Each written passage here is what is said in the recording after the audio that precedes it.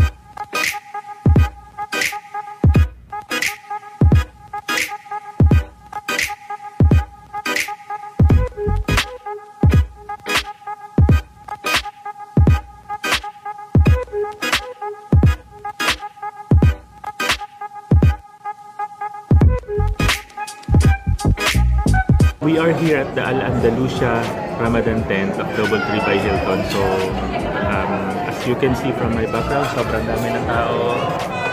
Makikita ko na talagang um, they take this an opportunity para para mag-break ng fast.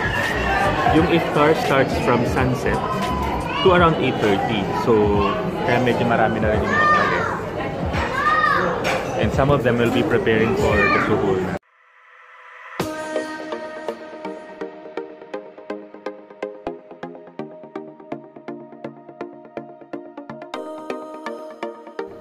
And we're back. Nandito na po kami sa bahay. It's 8.20 and kita nyo naman po yung isa tulog na.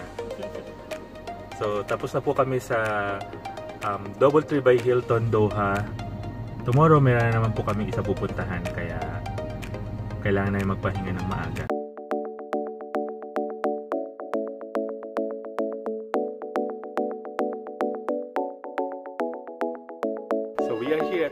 Crown Plaza Doha West Bay para sa second day ng Ramadan 2019.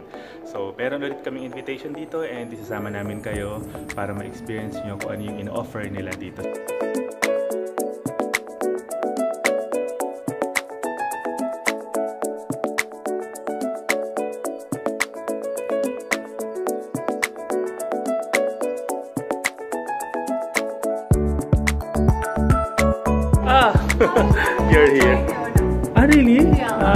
Okay. Nice to meet you. Yeah, thank you, thank you. Good, good.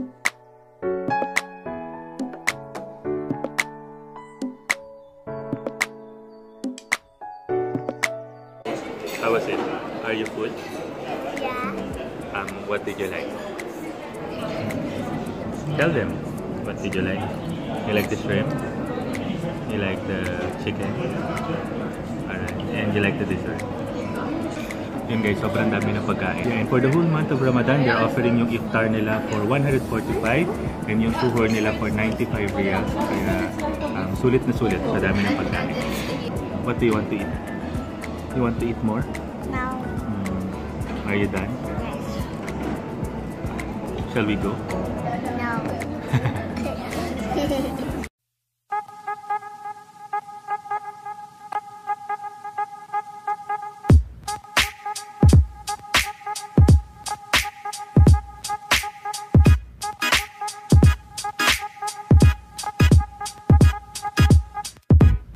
So day 3 ng Ramadan, meron na naman po tayong invitation. This time dito naman tayo sa The Pearl. Sobrang ganda.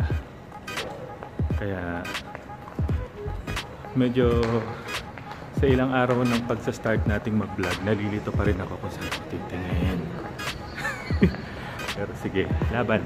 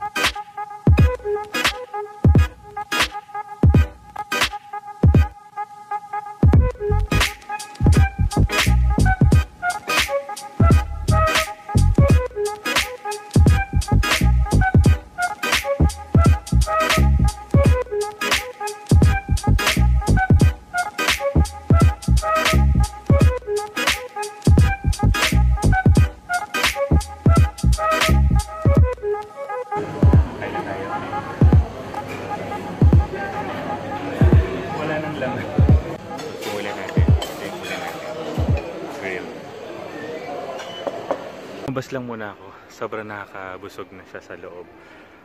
Um, for emergencies, ang kanila namang offer um, mostly mga um, Turkish food, sa mga grilled. Sobrang sarap din naman ng pagkain nila. 149 yung kanilang iftar from um, sunset to 8 o'clock. So kaya marami din naman kayo talagang pagpipilian ng mga options.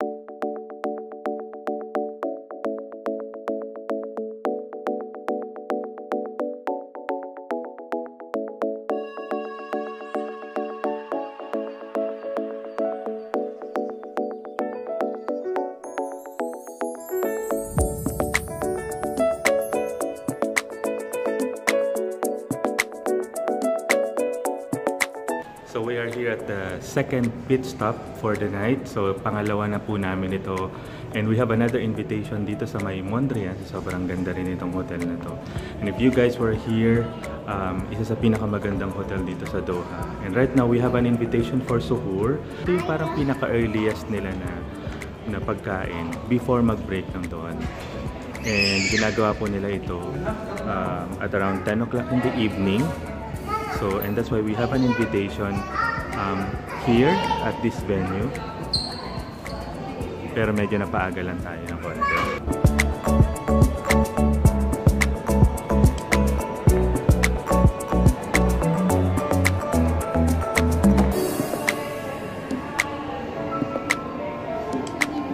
Good evening.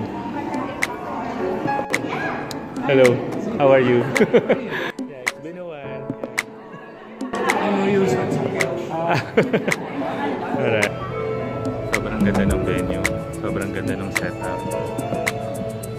Different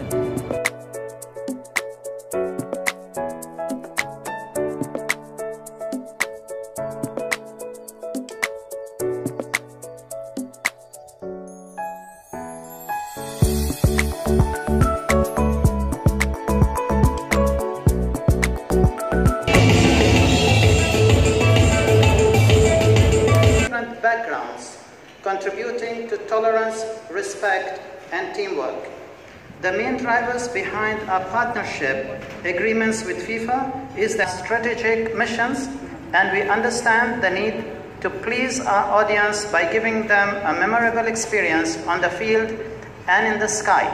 Let me take you to a place like no place on earth. A world where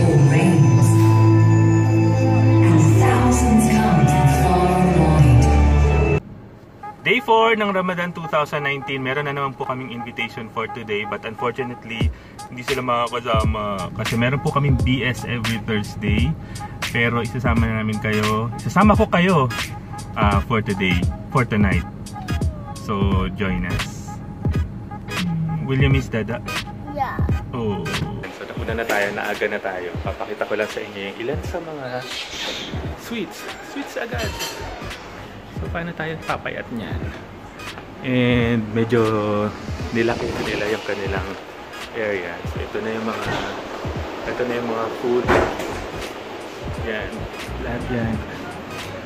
Lahat yan kakainin natin. Itong Harnin Restaurant, ito yung isa sa mga restaurants nila dito sa Tivoli Supuakra. So meron din doon sa kabilang building. And ngayon, dito nila ginawa yung kanilang iftar. And ayan, sobrang dami din ng pagkain. Although, since yung concept nila is a boutique hotel, so hindi ito ganun kalaki, kaya um, sobrang intimate. Okay mag-date.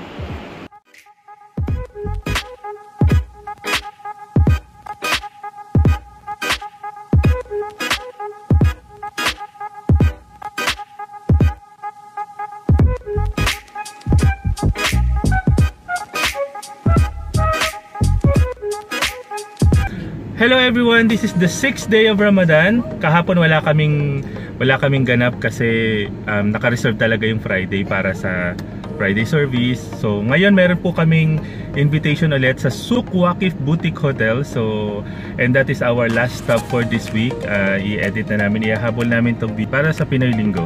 So kailangan na pumunta, medyo late na kami. Eh,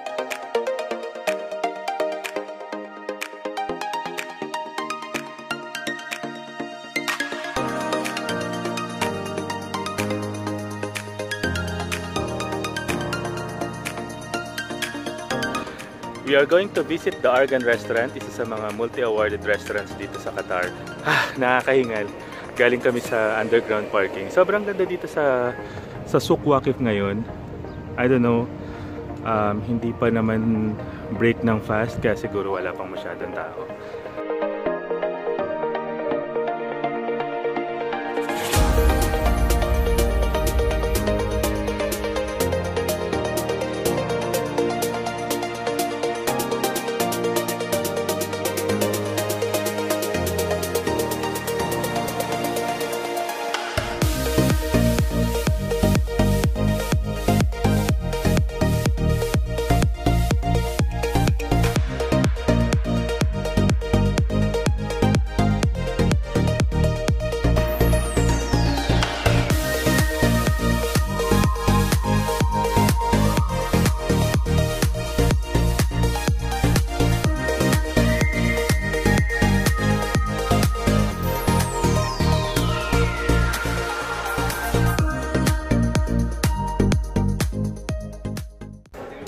Guys, I have to end the vlog here. Kailangan ko i-enjoy yung last day of Ramadan this week. So, kakain muna ako ng kakain.